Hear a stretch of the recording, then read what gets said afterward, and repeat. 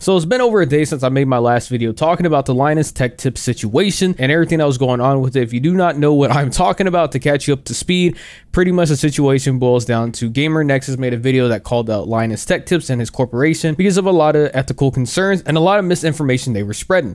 And it was supposed to be in good faith to try and, you know, bring to light things that they need to work on. But unfortunately, Linus took it the worst way possible and then went to his forum to rant and make a whole post saying that he's not going to cover this on the WAN show or do any of that. And and people were just like, "What the fuck, man?" And then Gamer Nexus replied back, and now fast forward to present day, and oh, there's been a lot. So if you want to get caught up from the beginning to where we're at now, I have a link in the description below to the first video I made talking about all this.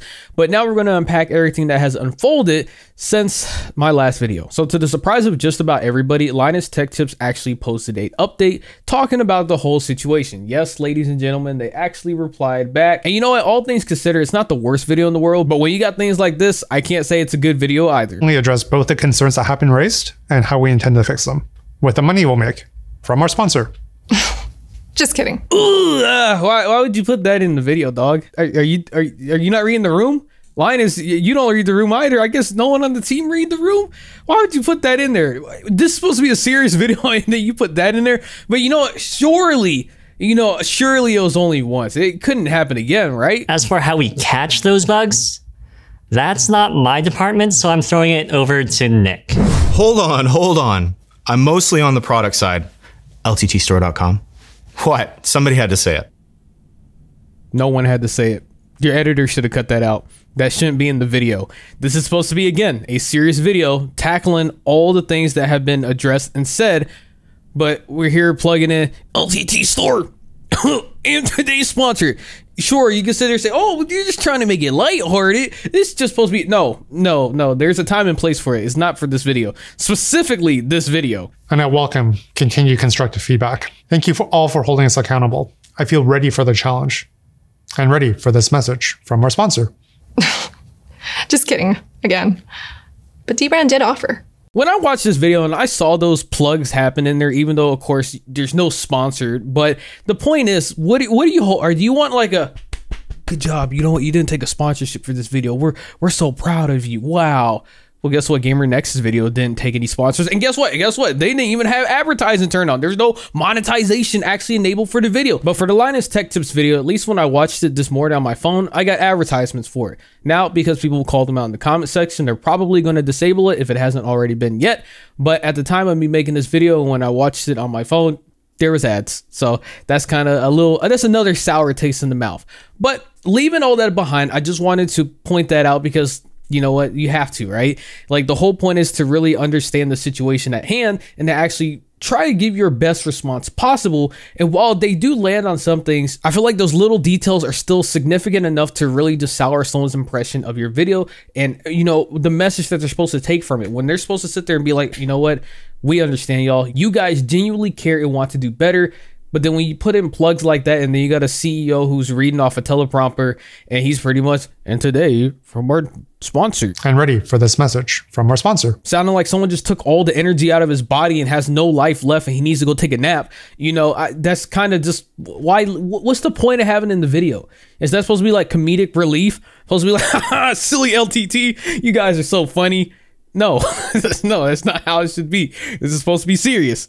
But hey, that's just my opinion. Now, I know that this video has been pretty negative so far, and I know it probably feels like to a lot of, you know, hardcore Linus Tech Tips fans that, man, you're just going for the low hanging fruit. You're just trying to find things to complain about. They addressed it. Why are you doing all this still, man? And I'll tell you why, because it's better to show both sides. There's the positives and the negatives. I've shown you some of the negatives. Now I want to show you the positives because there are positives. But I have to get that out of the way. For me to ignore that and just act like it didn't happen is silly. And you know, goddamn well, everyone's going to point it out because it's in bad taste for them to include that in their video. But I digress. So now I want to focus on to one of the points that they made in the video that I think is really good, and I'm really glad to see them address it because I think it's one of their biggest weak points inside their entire corporation. Staying relevant on YouTube is hard for everyone, but we aren't fighting for survival anymore, and we don't need to run at this pace.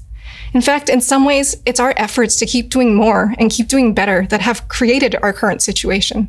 My background is in managing a pharmacy, where the small details matter a lot. And basically, I agree with the community, so I'm putting my foot down. Effective immediately, all YouTube video production is on pause, And our teams are going to be spending this entire next week focusing on long term workflow changes to make our content better in a lasting way. This means for the first time in over 12 years, LTT will be missing not just one daily upload, but many. But improving to the degree that we want and need is going to take more than a week. So I'll be working with Terren and Colton to manage our sponsor commitments and the financial hit of both this housekeeping week and a reduction in our LTT upload schedule. And so out of all the points that was made in the video, I think that this is the greatest one because I feel like this is the the crucial weak point of the corporation is the need, the urge, the drive to want to keep making content fast, quick, and just get boom, boom, boom, boom, boom, get it out there. Be first, be first. Always got to do it first. And the thing is, LTT is a corporation. It's a big one. They are pretty much like the giants on YouTube yes, you can sit there and say to a point, well, if they don't make a video in like five days, then you know they keep it up. Then of course they would probably start to slow down and fall into irrelevancy. Not probably ever at all, but to an extent, right? People be like, man, LTT uh, they used to upload all the time. But the issue that they think they face and the mindset they have when it comes to this stuff is things that creators like me face. That's things that I have to deal with. I'm the small guy here. I'm the one with like what four thousand subscribers. You know, if I make a video on a topic, if I make it like three days later Guess what, dog? I ain't getting no views on that. Everyone's already made their videos. All the big channels, they already did it. I have to worry about making sure that my video comes out in a timely manner and that is like boom, boom, boom, boom, boom. I got to get this shit out here because if I wait, then I'm, I'm going to lose all the traction. I'm not going to get any chance to have any exposure on my video because everyone else would already have beaten me to the race. And the algorithm isn't going to promote a small channel versus a big one who covered the same topic. So when it comes to that mindset of trying to make sure you're first out there, you're trying to be one of the first people to get a video talking about a subject. Yes, I completely understand that. And I think it's a very important mindset to have, but I think that's something that only smaller creators face.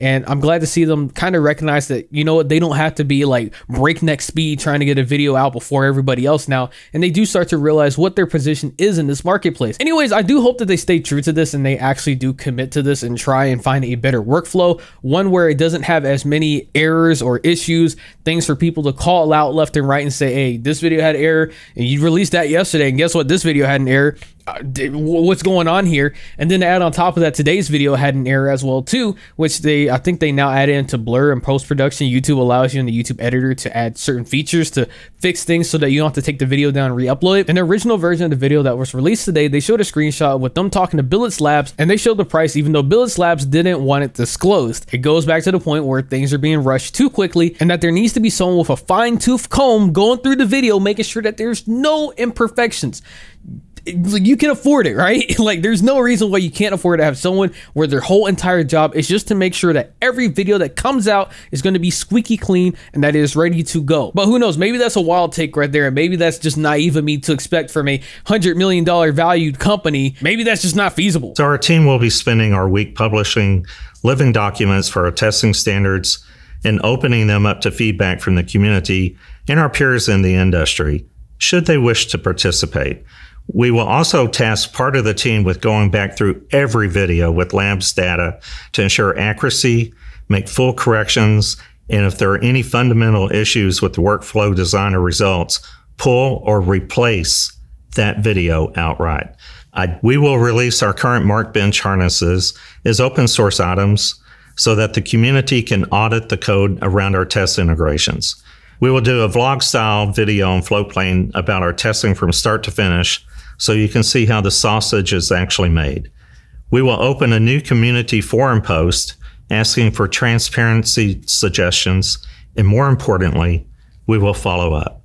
We will start placing our testing project number in the credits so we are always open about the data set that was used for the benchmark results. So this is another good change, and I think this is something that a lot of diehard fans of LTT weren't really realizing because I saw it in my own comment sections alongside other comment sections. People are like, "Well, LTT is just an entertainment channel.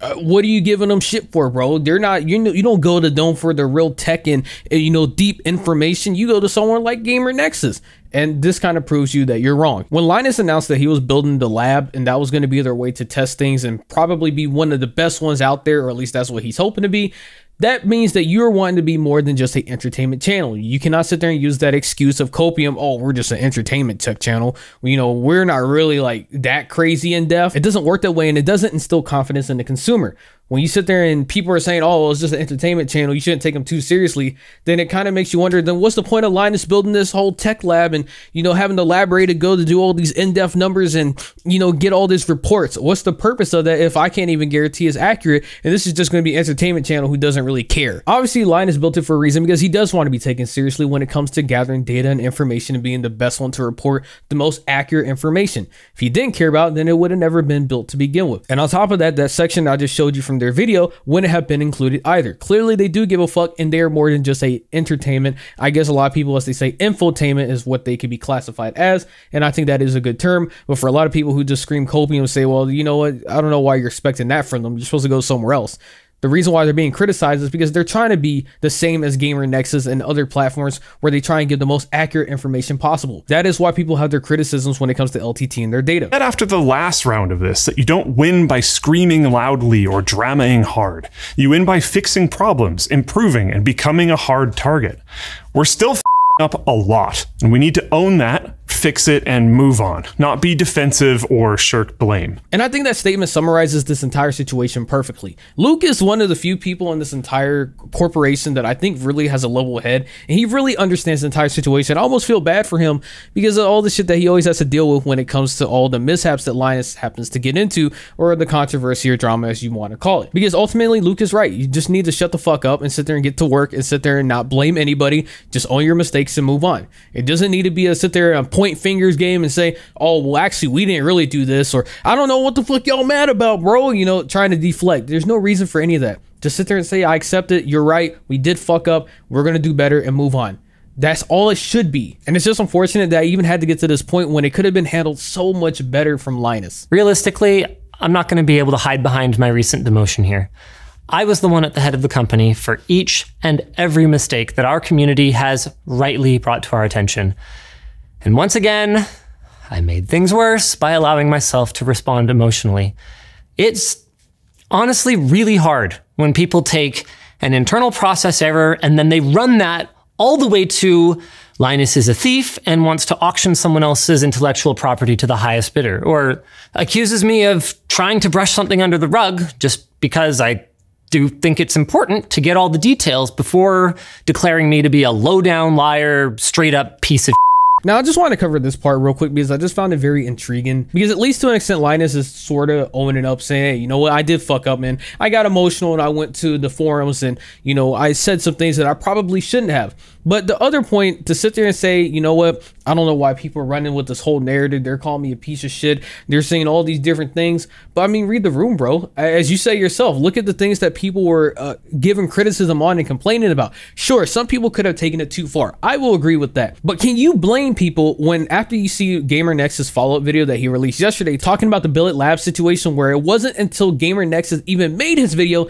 that Billet Labs was even able to get in touch with LTT again? It's not hard to be upset and sit there and blame LTT and be like, man, y'all really are pieces of shit. They've been trying to contact y'all since June, and it took someone making a video for it popping off and getting millions of views before they could even get in contact with you again. Of course, people are going to call you a piece of shit. They're going to be like, how do you let this happen? How, and then on top of it, it got auctioned off. Regardless of how you might feel personally and emotionally, of course, it's the internet. People are always going to talk shit. It happens no matter what. But the thing is, you have to understand how the situation played out, and of course, why people get to the reactions and the thoughts that they have. This isn't like Gamer Nexus fabricated all this and this was poofed out of thin air and this was all just an illusion and never actually happened. It all did happen. Read to compensate Billet Labs for the cost of their prototype uses specific language to imply that this was agreed upon prior to our video launching. Following this forum post from Linus, we reached out to Billet Labs, with whom we'd already had contact, and we asked them the following. We said Linus's comment doesn't expressly say it, but it seems to imply that this agreement was made previously. Billet Labs said no, absolutely not. No, no, no. The only mention of any money to do with the prototype was our response to them after they said they'd auctioned it. And we basically said, you know, that was an expensive prototype. They didn't want us to share the exact dollar amount. Billet continued to explain their email. They said, quote, I said, do you plan to reimburse us for this? And we heard nothing. We didn't get a response until your video, and Billet thanked us for it. We asked Billet when it had received that email from Linus, and they noted it arrived about two to three hours after we published our video, uh, which would have been around the same time that Linus posted the comment on the forums. So he wrote that email and he posted, and then said they've already come to an agreement. But at the time he posted it, Billet hadn't uh, responded to the email. And just for the record, we have the timeline of events, so I vetted them. And Linus Media Group did, in fact, agree to send the block back on June 30th, and they agreed again later. And then they followed up to tell Billet that they would have a tracking number soon. And then it was last seen at the auction at LTX. And because of the way it did happen in the timelines for how this all played out, of course, people are going to be actually upset and they're going to be like, yo, you're a piece of shit. And when you post your video addressing this whole situation on Floatplane first, and someone asks, when will this be on YouTube so we can share it with people who doesn't have Floatplane? Linus said, I could publish it anytime, but I thought I'd give the Floatplane folks a good bit of early access like the good old days, and to say thanks for sticking around while everyone else wait with bated breath. I really appreciate you guys for not jumping to conclusions. And again, to that, I say that's a very awful doo-doo idea. In what universe do you release that video first on Floatplane and make it some private early access? We're gonna release the video on YouTube later, and when we feel like it, we're just gonna make people wait and, and I need the response now. No, that's a fucking shitty attitude. You understand the severity of the situation, how important it is. It's not like you got some early access code to some video game that everybody's been waiting for for millions of years, and you're the first one who got it. And you got exclusivity, so you're like, you know what? For my fans on Floatplane, you're gonna early access to see this gameplay footage, and then we'll share it on YouTube later it's not like that. This is a serious situation, and it almost feels like it's being played like a game, and there's no sincerity to it to an extent. Again, this doesn't speak for everyone inside of the corporation, but in terms of Linus part, it's kind of hard to take him seriously when you see comments like that. Now, for the sake of this video, how long it already is, I won't go on any longer to talk about the rest of it. I mean, it's not much really to cover anymore. It's just pretty much, hey, we understand y'all. We will take this seriously. Trust us, guys. We are not going to be releasing videos for a while. We're really going to make sure that we start putting in processes, which is all sounds good, and I can't wait to see what the end result is because actions speak louder than words, but hopefully they do actually mean what they say. On top of that, I am aware of the Madison situation, the whole Twitter thread that's been going on with the whole sexual assault. It's a lot of trigger warnings. I'll put a link in the description below if you want to read it yourself. I might make another video going over that separately because it's too much for this one video alone and it's a lot more to go in depth and I just don't want to have this video go like 30, 40 minutes long. But again, I will leave a link in the description below if you want to read it for yourself. Anyways, if you made this far into the video, consider giving it a like, subscribing to the channel. Let me comment below what you think. Have a great day. Yeah.